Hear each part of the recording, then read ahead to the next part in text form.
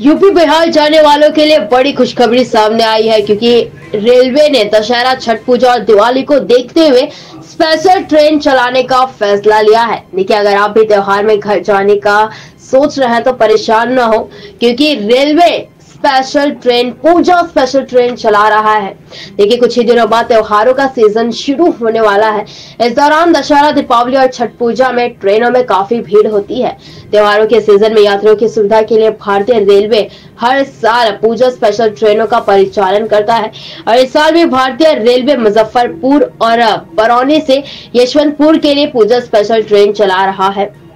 देखिए, पूर्व मध्य रेल के सीपीआरओ ने सीपीआरओ वीरेंद्र कुमार ने ये जानकारी दी है कि आने वाले पर्व, यानी कि त्योहार के दौरान यात्रियों की काफ़ी भीड़ को देखी जाती है और उसके मद्देनजर उनकी सुविधा के लिए रेलवे द्वारा हाजीपुर, पाटलिपुत्र, दीनदयाल उपाध्याय जंक्शन, प्रयागराज छिवकी, जबलपुर, नागपुर के रास्ते, मुजफ्फरपुर और बरौनी से यशवंतपुर के लिए एक एक जोड़ी पूजा स्पेशल ट्रेन चलाने का निर्णय लिया है।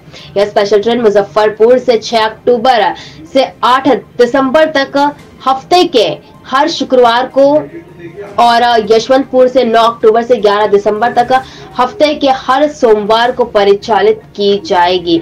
और यह स्पेशल ट्रेन जो कि Barauni Yesvantpur Barauni express special train है ये।